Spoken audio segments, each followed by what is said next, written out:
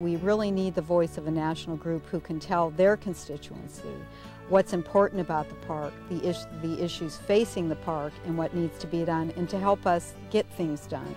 Evidence that the Everglades Coalition is making a difference was apparent at the 50th anniversary of the designation of Everglades National Park.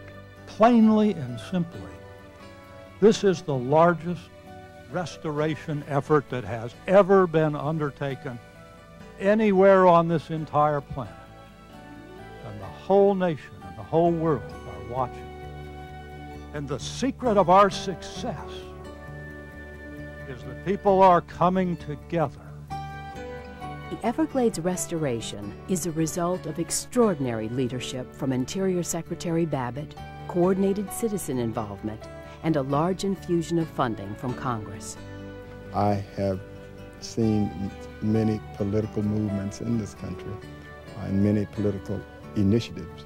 And I haven't seen anything quite like this, where the people are really trying to cross over uh, boundaries in terms, of, and there's not as much turf protecting, and really trying to work in unison to get things done.